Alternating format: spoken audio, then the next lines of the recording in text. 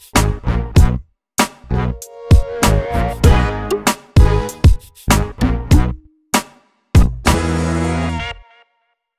everybody, this is BladeG1995 and today I'm going to go over the final release of iOS 5 before it comes out to the public.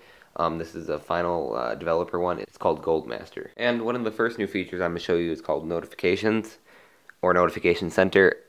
And um, basically what this allows you to do is see all the notifications, like your text messages, emails, and all the apps, and whether that you have set um, to send you those pop-up badges, but all it's all in one place right now, like sort of like an Android.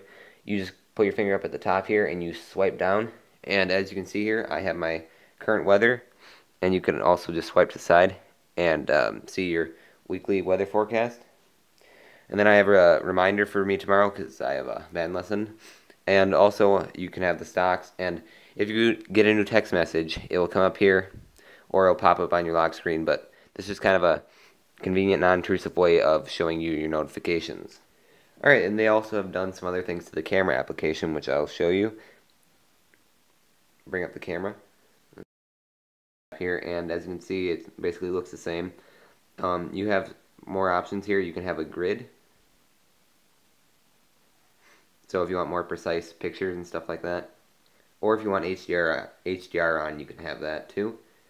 And it's basically the normal camera application. And um, also with this, you can turn it sideways or you can take a uh, portrait too, but you can use the camera buttons to take a picture. So I'm just going to show you that right here. And I took a picture with a camera button, so that's kind of nice instead of trying to hit on the screen and focus it and then all that with one finger. Um, it's also the same, just same tap to focus. And also when you go into the camera app, or the pictures, and see what you're taking a picture of, you can just hit this to go right back uh, to take another picture or if you just want to go right back to your picture, you just swipe across, which is called kind of a neat feature.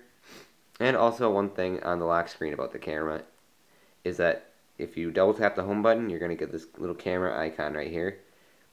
And that's going to bring you right to your camera. So if you want to take a quick picture, um, let's say something's happening, uh, I don't know, some news event's happening, you want to take a picture really quick instead of having to go unlock your phone, find your camera app, and do that and let it load up. It's, it saves you probably a second, but it's kind of nice in some situations. And the next app I'm going to show you guys is called Reminders. And Reminders is basically the calendar app, but it's uh, more revamped and better for organization and just reminding you, hence reminders for uh, your things to do. And um, let's say I'm going to add an event today. And um, I don't know, we'll just type in something for sakes of the video. So foggy. Um, anywho, you can go back to the app or the event and you can change the time of the event if you wanted to. So let's say we just want to move this to 6 o'clock. Another new feature is called at location, or at a location.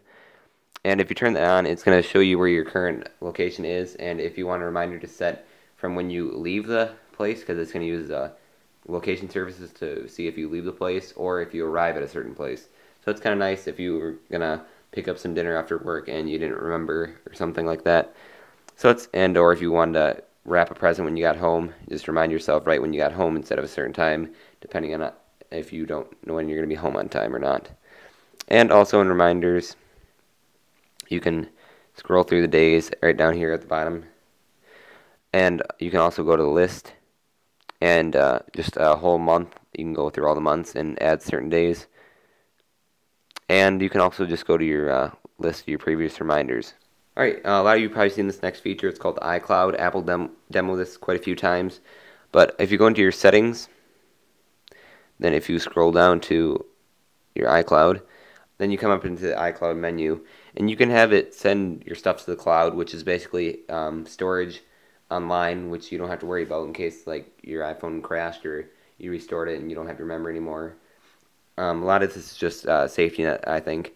But you can uh, back up your mail, contacts, calendars, reminders, bookmarks, notes, photos, documents, and data, and you can uh, specify that and find your iPhone, which is a nice app if you lose your iPhone, and it uh, sends location services to help you find it. And your storage and backup, you can. I have the free one right now, five gigabytes, and um, you can buy more if you need more, like 20, I believe it's in 10 gigabytes, which is quite a bit. But um, iCloud will back you up once a day. Um, so that's kind of a nice feature to have so you don't lose everything.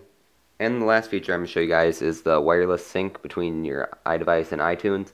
And this is kind of nice instead of uh, having your white cable that you have to plug into your device every time go up to your computer.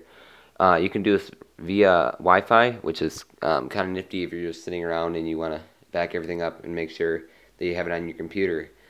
Um, if you buy a song or something, that's kind of what iCloud does, but this brings it right to your computer too.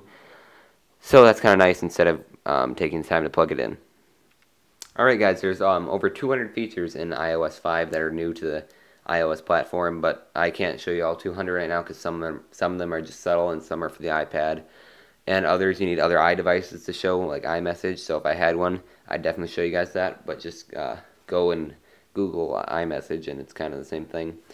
But once again, thank you for watching my video. Please subscribe, hit right up here, and like the video right down here. That also helps me out. And um, tell your friends to come watch the video to show them the new fe features. This comes out to the public, I believe, on October 12th. So all of you will be getting this on your hands then if you're not a developer right now. Um, I personally love iOS 5. I'm not going to be getting an iPhone 4S because my contract is not up and I do not want to pay about $370 to get a new con or to get a new phone and contract. I think iOS 5 is a great free upgrade. Leave a comment if you have any questions, uh, comments if you have this already or what you're looking forward to it, anything I missed. And um, leave a comment saying what I should do my next video on. I'm at my 60th video right now, so I'm getting up there. And I want to thank you guys for, I got uh, 300 subscribers recently, so I want to thank you all for participating and being a subscriber. Once again, thank you for watching my video.